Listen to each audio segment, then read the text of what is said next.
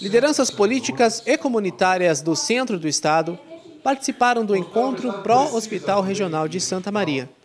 A audiência aconteceu no auditório do Hospital Universitário e foi promovida pela reitoria da UFSM. E nós estamos trabalhando, depois de uma investida 2014-2015 e as mudanças de governo, a universidade achou que estrategicamente deveria se eh, afastar um pouco do processo, não se retirar, para deixar que as novas autoridades do Executivo Municipal e Estadual e Federal eh, dessem o encaminhamento adequado. Como nada aconteceu nesse ano e meio, nada propositivamente aconteceu nesse ano e meio, nem a perspectiva de abertura desse hospital, nós entendemos que diante da grave crise por que passa a situação, a saúde pública no estado do Rio Grande do Sul, especialmente Santa Maria e particularmente no hospital universitário, nós achamos por bem que deveríamos retomar essa discussão no sentido de sensibilizar o governo do Estado a promover a abertura desse hospital regional. Não importa se vai ser pela EBSER, pela universidade, por qualquer outra instituição de saúde que pretensamente deseja abrir ou deseja participar desse processo, é, nós, nos importa verdadeiramente que esse hospital abra, esteja à disposição da saúde da população regional e que possa, da mesma forma, se constituir num elemento de equilíbrio na estrutura de saúde que o Hospital Universitário oferece. A construção do Hospital Regional foi encerrada em setembro de 2016. A expectativa é que os 250 novos leitos sejam disponibilizados aos usuários do Sistema Único de Saúde. Para o hospital universitário, é, em primeiro lugar, é nós temos a noção da cidadania. Né? Então, nós sabemos a quantidade de pessoas que estão nas filas, milhares de pessoas aguardando atendimento, aguardando cirurgia, e também conhecemos o nosso pronto-socorro sempre superlotado.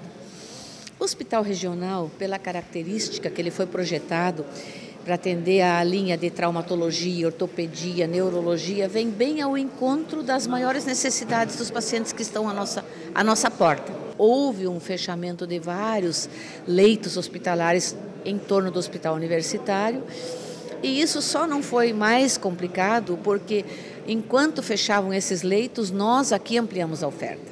Nós aumentamos 50 leitos, aumentamos as internações, aumentamos as consultas especializadas. Só que com o aumento das consultas né, especializadas, mais diagnóstico, mais gente foi para a fila da cirurgia. Então hoje existem milhares de pessoas em filas de cirurgia que precisariam do regional. O encontro abriu espaço para que a comunidade se manifestasse sobre o tema e discutir quais são os caminhos para resolver o impasse. Todos os movimentos que nós fizemos ao longo dos últimos dois anos, três anos para cá, foram importantes, mas nos últimos 60 dias nós acabamos fazendo uma grande eh, atividade aqui em Santa Maria, 36 entidades representativas, prefeitos, enfim, toda a região estava presente. E daquela região foi deliberado a criação de um comitê permanente pró-abertura do hospital regional. Esse comitê tem um núcleo executivo, faz parte da Assembleia, o Hospital Universitário, a Universidade, a Prefeitura de Santa Maria, a Câmara Municipal de Santa Maria, a M-Centro, o Consórcio Intermunicipal de Saúde e, a, e, o, e o Conselho Municipal de Saúde.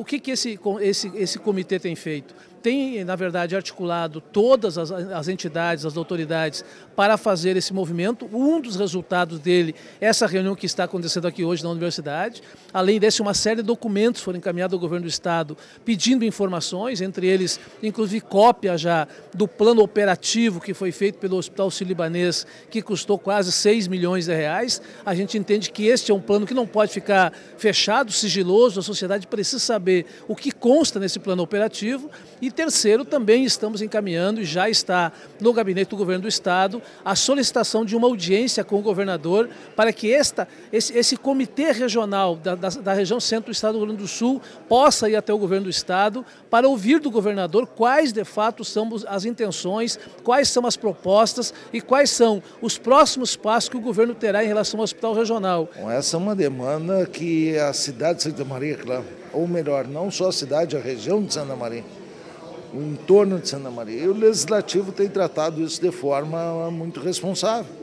Tanto é que, além da Comissão de Saúde da Casa, comissão permanente, composta por sete vereadores, criamos uma subcomissão composta por três vereadores para acompanhar de fato a abertura do hospital regional. Eu duvido que exista na redondeza ou quem sabe no mundo alguém que não queira que abra esse hospital. Né? É, uma, é um anseio não só da classe política, quem é envolvida diretamente, como do cidadão usuário. Porque hoje nós estamos aqui no USM, antes de chegar até a reunião aqui, a gente passa pelo pronto-socorro e vê a, o que é a necessidade de um outro hospital desta área na, na cidade. O que eu tenho falado para todo mundo a população, o seu Pedro, Dona Maria, o seu José, a Dona Carolina, ninguém quer saber se é o Pedro ou é a Maria que vai administrar, eles querem o hospital aberto. E é isso que nós estamos propondo, com muita seriedade, com muita sanidade, com muita responsabilidade. E, evidentemente, aquilo que eu tenho falado, sem buscar um oportunismo político em razão do ano que vem sendo eleitoral. Eu tenho orgulho que desde 2003, lá quando eu era vereador, eu participo dessa discussão a favor da abertura do hospital regional e tive a oportunidade, junto com a governadora Eda, colocar o primeiro tijolo para o nosso hospital regional. Em primeiro lugar, elogiável a atitude do nosso reitor, Paulo Bormann, de chamar a sociedade da região toda, chamar as entidades, instituições apartidárias. Estavam aqui representantes de todos os partidos, mas aqui não se discutiu política partidária, se discutiu uma política de saúde e que realmente esse nosso hospital regional saia do sonho de um hospital regional para a realidade que venha atender as demandas da nossa comunidade. O nosso pronto-socorro tem 23 leitos e com muita frequência nós estamos atuando muito além deste limite, com mais de 30 macas espalhadas pelo espaço do pronto-socorro, nos corredores, em várias outras salas onde não, que não são apropriadas para uh, esse tipo de atividade. Então, realmente a situação é dramática, a falta de leitos no hospital universitário e nós temos aí ao lado 250 leitos esperando uma decisão política para é, estarem a serviço da saúde da população. Então, o movimento vem nesse sentido de conversar e sensibilizar as autoridades da saúde da região, os prefeitos, os vereadores, enfim, todas as lideranças, a imprensa local, para que se some a esse esforço de sensibilizar o governo do Estado que promova a abertura do nosso hospital público regional. 100% SUS, que é o que todos nós desejamos, para que a população seja diretamente beneficiada com esta atitude.